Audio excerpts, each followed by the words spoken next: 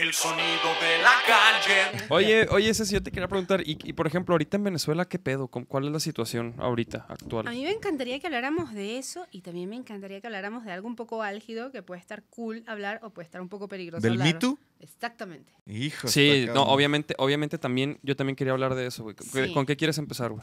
Con Venezuela porque, porque en O sea, realidad, miren, Sí, es que la neta, yo es, es, he es escuchado algo, muchas cosas. Es algo de responsabilidad para mí hablar de mi país. A huevo. Porque, o sea, todos los que estamos afuera o los que somos venezolanos y realmente conocemos y vivimos, vivimos la situación. O sea, no es que nos leímos un librito de, de izquierda derecha, no, güey. Vivimos eso. En Venezuela hay una anarquía, pero, o sea, es una anarquía en presente, o sea, es anomia, o sea, de verdad, no, no hay, no hay ley, no hay nada, no hay, no hay tanta ley, o sea, que tenemos dos presidentes. Tenemos un presidente reconocido como dictador Ajá. y lo que- tenemos un presidente encargado. Ese presidente encargado se supone que está hacia la legalidad porque las elecciones que hizo Maduro hace este, ya casi un año fueron como fraudulentas. Ajá. Entonces tenemos esos dos gobiernos y estamos esperando, o sea, se- lo que se quiere es que Maduro se vaya Sí. por cuenta propia, que no Acepte que haya... perdió. Ajá, que no hay una intervención, no es que nosotros, sí, que venga Trump y le damos el culo. No, Ajá. no está pasando eso. Y está pasando ya una crisis de los servicios básicos, como es el servicio de electricidad.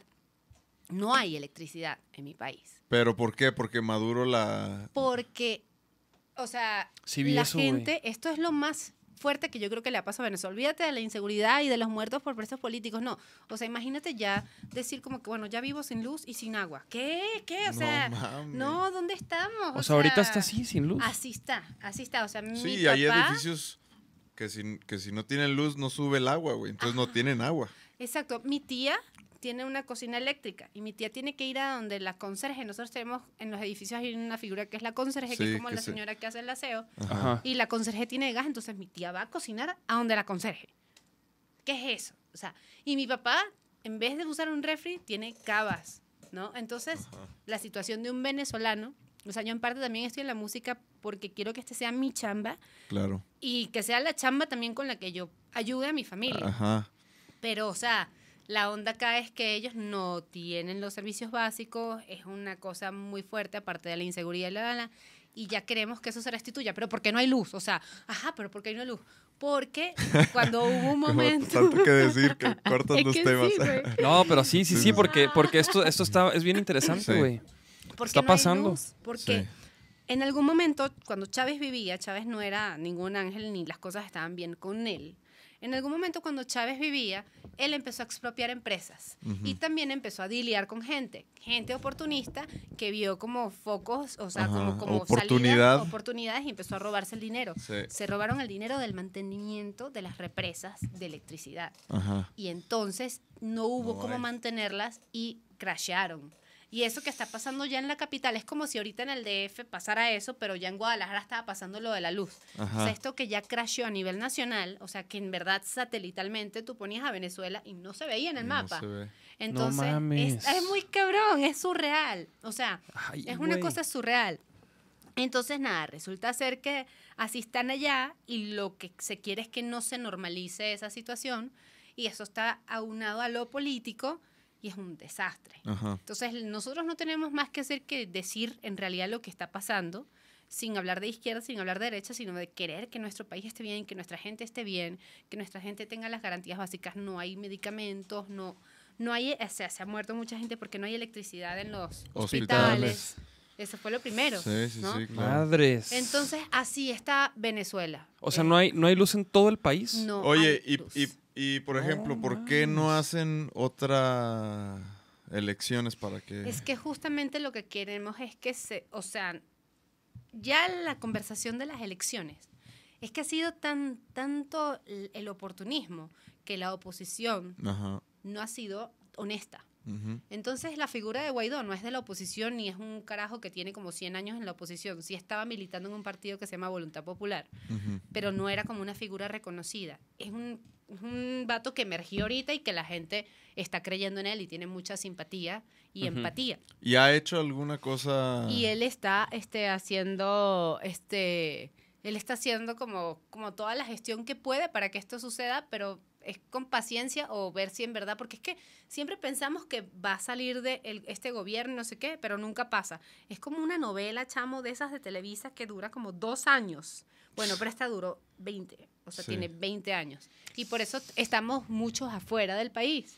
Y estamos afuera del país porque estamos ayudando a los que están adentro o porque vamos a sacar a los que están adentro. Lamentablemente es así.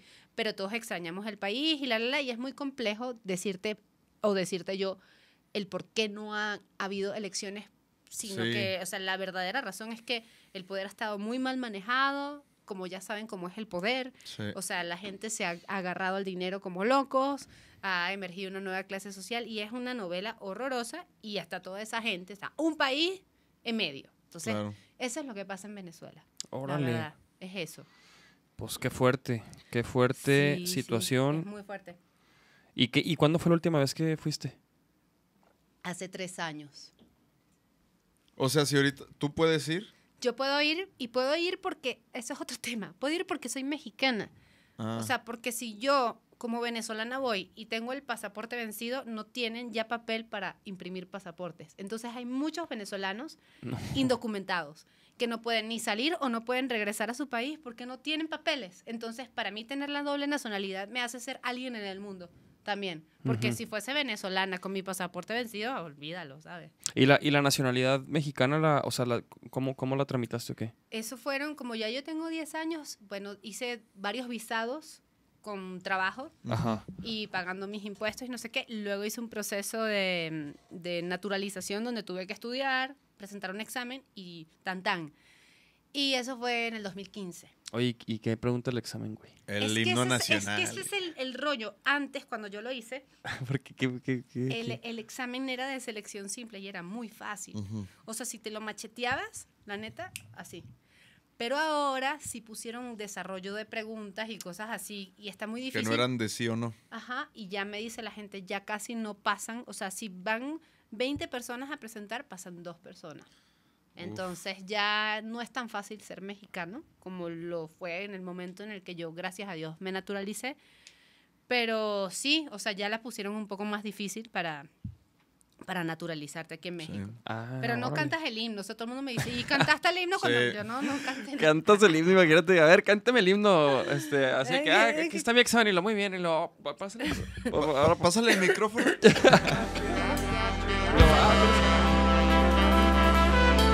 Sonido de la calle. El sonido de la calle. Es el sonido de la calle, no se puede perder. Ya todo lo que pasa es porque no lo ves tú. Todo tiene precio, somos solo objetos. Nos preocupa más lo material que lo